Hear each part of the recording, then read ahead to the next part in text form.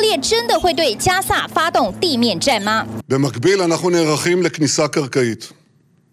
אני לא אפרט מתי, איך, כמה.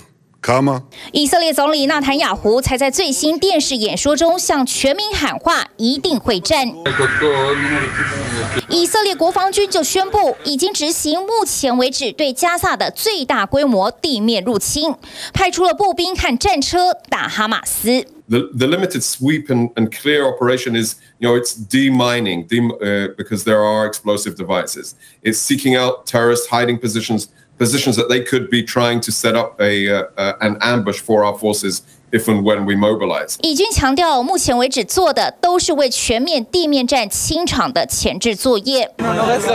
加萨边界大批士兵蓄势待发， Actually, the time that have been given us has made us much more prepared, much more efficient, much more lethal toward Hamas. That uh, if we'll be needed to go to go inside. 不过 外界也开始质疑，以色列喊了十几天都没有全面进攻加萨，各方考量是什么？And right now, the U.S. does not see the Israelis as having that. A key part of that strategy, of course, as the U.S. learned from its war on terror, is to have an exit plan. Don't get bogged down. 美国总统拜登一开始就警告以色列不该全面进攻加萨，现在更是努力以拖待变，用美国在九一一的惨痛教训，奉劝以色列要制定退场机制，最好是能透过外交管道解决。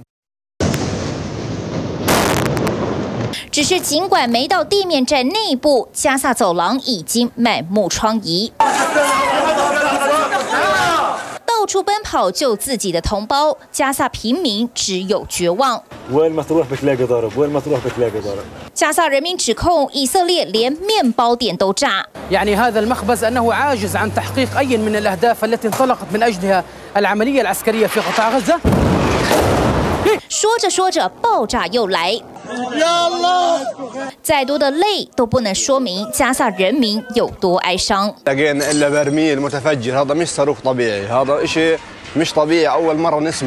他们只能绝望又麻木的看着一切重复。一个个瓦砾堆代表的是家园和生活记忆全都没了。尤其加萨北部更像是被铲平一样。根据美国 Maxar 科技比对了十月十号和十月二十一号的卫星空照图，原本的城镇还能从高空看到围成一个方形的建筑物，十月二十一号已经全毁。另一区块原本还能看到蓝色屋顶，现在只剩一片灰白废墟。加萨北部人口稠密区几乎全毁。持续十多天的空袭，让加萨从露天牢笼变成鬼城。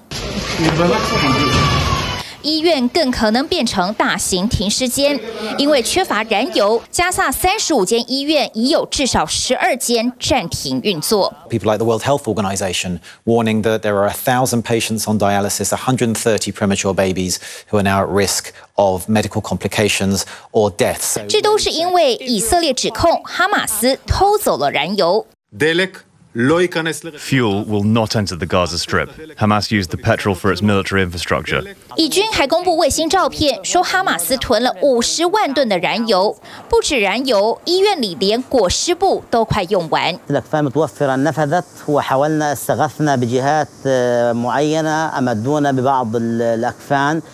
ولكن الإمداد الذي وصلنا لا يكفي لخلال يومين اثنين فقط 什么都没有，连联合国机构都无以为继。 We are appealing, we are pleading, we are on our knees asking for that hu- uh, sustained, scaled up, protected humanitarian operation. 语气卑微的恳求各方，但是联合国努力至今，发送的物资不到百分之一。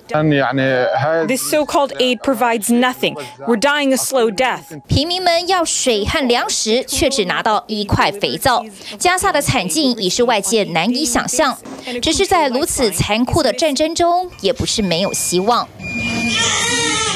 一名还没足月的早产女婴呱呱坠地，他和妈妈都活了下来，是被死亡笼罩的加萨走廊里一丝亮光。TVBS 新闻综合报道。想看最完整的新闻内容，记得下载 TVBS 新闻网 APP。